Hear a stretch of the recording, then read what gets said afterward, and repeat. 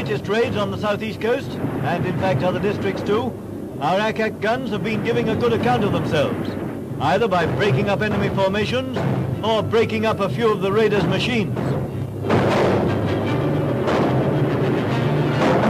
Craft in the misty distance is a German rescue seaplane, going down to pick up survivors of a sunken bomber.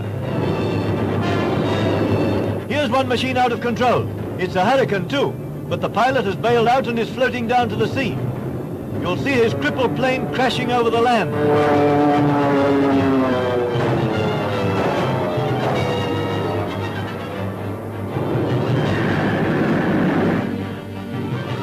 RAF launches go out to the pilot's rescue.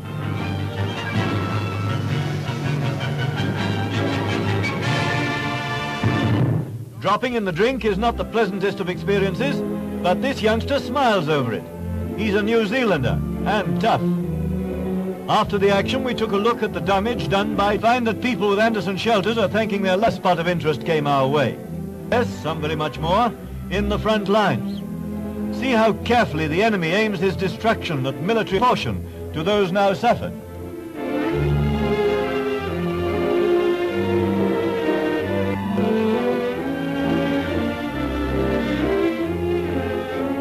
Same care we had observed with our own. But he doesn't smile. Maybe he's expecting a slit throat, as advertised by Goebbels. In the London, we dashed over to another southeast, come under the heading of property of the bombardment from the French coast, and by the bombing. Even churches do not escape, and I suppose he argues that the bed and what will all the old salts and shellbacks have for morning gossip after all this is over. Late, a rescued German pilot was brought ashore. Here's a rare piece of grim war humor.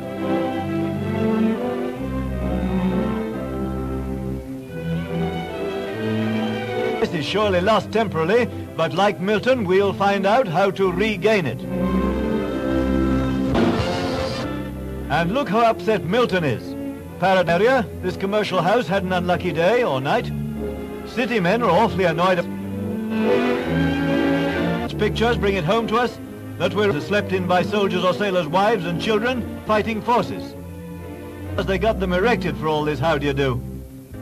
Without such protection in areas like these, casualties would have been... Oh, Robert seeing that all the doors are secure. Yes, it looks bad, but it's not as bad as it looks.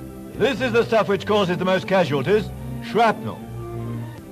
Note especially how business as usual seems to be exited by everybody. And while we